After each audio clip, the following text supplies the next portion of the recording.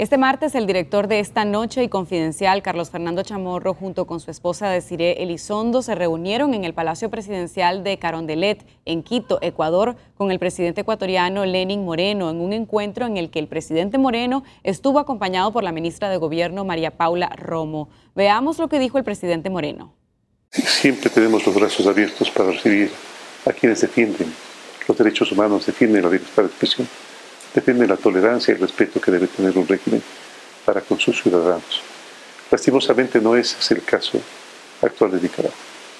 Sabemos que prácticamente has sido expulsado de Nicaragua, te has auto exiliado precisamente porque entendemos, al igual que los centenares de personas que han muerto allí, también temías porque tu vida o la de tu familia puede haber sido lesionada que te apoyamos en todo sentido, estamos contigo y quiero que transmitas al pueblo de Nicaragua desde columna, desde tu voz, nuestro completo respaldo y nuestro y el cariño de toda la vida, un cariño que aprendemos a tener un pueblo luchador.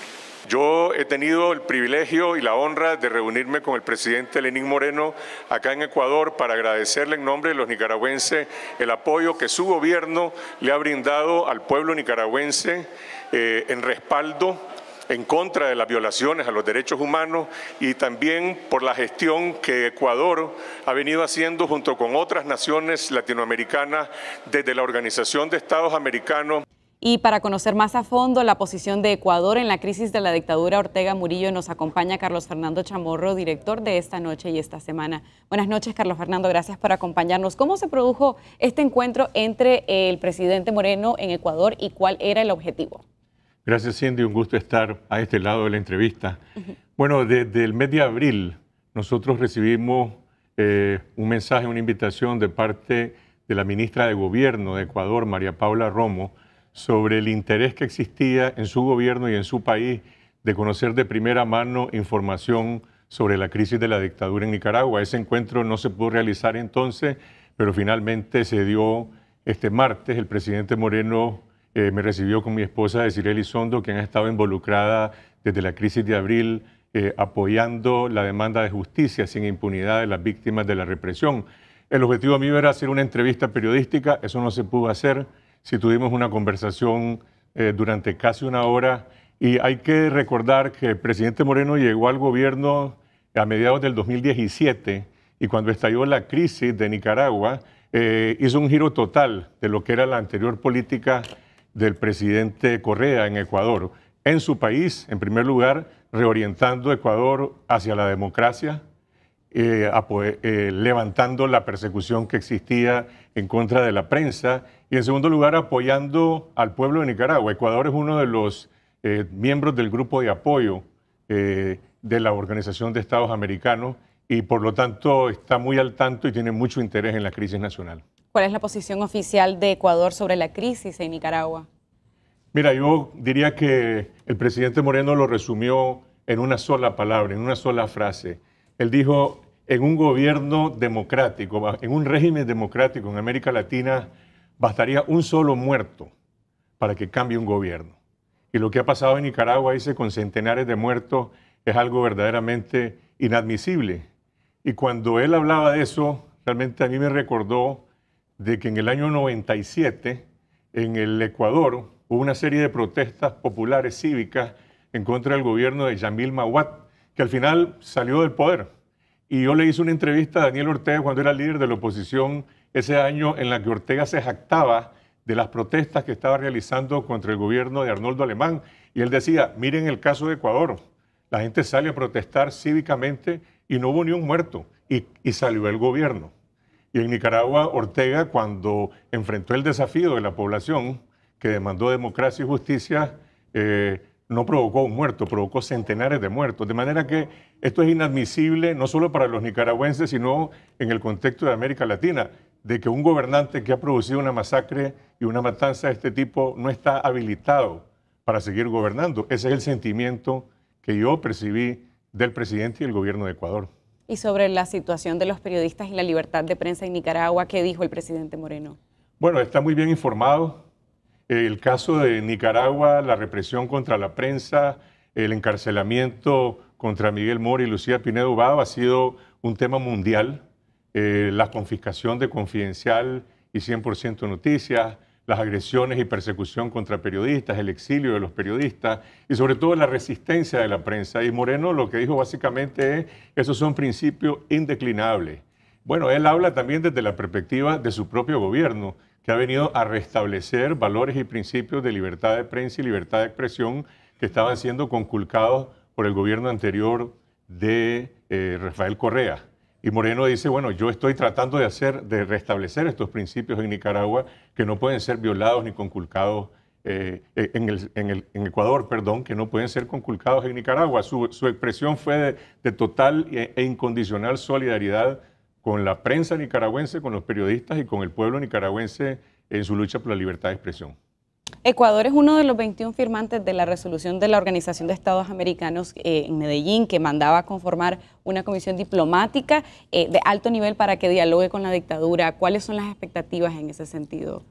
Mira, las expectativas están fundadas por una parte en la voluntad política de los gobiernos latinoamericanos y particularmente el de Ecuador, de seguir apoyando a Nicaragua, al pueblo nicaragüense en su lucha por la restitución de los derechos humanos eh, pero por el otro lado con mucho realismo. Y en algún momento de este intercambio, el presidente Moreno dijo, pero ¿cómo pueden dialogar con muertos? Él dijo, los muertos no dialogan. Está hablando de una situación real que hay en Nicaragua, que después de la masacre hay una demanda de diálogo político que incluso está siendo conculcada por el gobierno. Pero al mismo tiempo dijo, pero la única salida es una elección libre. La única salida es que en Nicaragua se restablezcan condiciones, para que se puedan contar los votos con transparencia y que, bueno, que la oposición pueda participar unida en una elección. Eh, de manera que lo que él básicamente dijo es, cuente el pueblo de Nicaragua con el apoyo de Ecuador en las gestiones que se están haciendo en la OEA para la aplicación de esa resolución que se estableció en Medellín, aunque está claro de que eh, se, está se está luchando contra corriente, contra una dictadura que hasta hoy no acepta eh, esa demanda de diálogo político. Quiere decir que hay una expectativa por parte de Ecuador sobre una posible salida política y, qué pasaría en el futuro en Nicaragua. Mira, lo interesante es que el presidente Moreno eh, se presenta como un liderazgo político progresista que está enrumbando su país en una orientación democrática y dice, en Ecuador estamos haciendo cosas que a lo mejor podrían ser de utilidad en Nicaragua mm. para una sociedad post-dictadura de Ortega. Y está hablando de cancelar las operaciones de espionaje político que existían en su país, de luchar contra la corrupción, de restituir las instituciones democráticas de Ecuador que estaban sometidas al autoritarismo eh, del presidente Correa. De, alguna, de, manera que él dijo, bueno, eh, nosotros apoyamos a Nicaragua hoy y la apoyaremos mañana y esperamos que algunas de las tareas que aquí se están realizando puedan ser también de utilidad y de apoyo para un futuro gobierno en Nicaragua una vez que termine esta dictadura. De manera que hay una solidaridad con el pueblo de Nicaragua y con las aspiraciones de cambio eh, del pueblo nicaragüense. Se habló en la reunión también de la situación de Confidencial, de la redacción de Confidencial, y esta es una pregunta que también la gente se hace. ¿Cómo está trabajando y cuál es la situación actual de la redacción? Bueno, sí, el presidente eh, Moreno preguntó específicamente sobre el caso de Confidencial de 100% Noticias. Nosotros le informamos ampliamente eh, los hechos y los hechos son que desde el 14 eh, de diciembre eh, la redacción de Confidencial sigue ocupada de manera ilegal por la Policía Nacional. Nosotros hemos denunciado esto como una confiscación de facto, que es ilegal, con la que se está violando el derecho de propiedad, se está violando el derecho a la libertad de prensa y a la libertad de empresa de las empresas Invermedia, productora de Confidencial y Promedia, productora eh, de esta semana. Y quiero aprovechar para adelantar que el día de mañana, junto con el colega Miguel Mora, director y propietario de 100% Noticias, vamos a hacer una conferencia de prensa conjunta, yo desde acá en San José, Costa Rica, él en Managua, acompañados por las cámaras del sector privado, del COSEP y de AmCham, para denunciar la confiscación ilegal que se sigue manteniendo en contra de estos dos medios de comunicación. Hasta hoy nunca ha habido una orden judicial para justificar esta acción contra Confidencial porque no existe, no hay ningún soporte jurídico ni administrativo. Sin embargo, hay una justificación que brindó el jefe de la Policía Nacional ante la Sala de lo Constitucional de la Corte Suprema de Justicia, alegando que él, al confiscar confidencial, está cumpliendo, dice, un mandato del Ministerio de Gobernación en contra de la ONG 5. Pero no hay ninguna relación entre la ONG 5 y la empresa productora de medios de Confidencial y de esta semana. De manera que nosotros mañana vamos a presentar estas pruebas emplazando al gobierno a que suspenda esta confiscación ilegal, lo mismo en el caso de 100% Noticias y tenemos, eh, es importante también el respaldo de todas las cámaras del sector empresarial. Gracias por el, adelanto y vamos a estar pendientes entonces de la conferencia. Gracias por la entrevista también aquí en esta noche.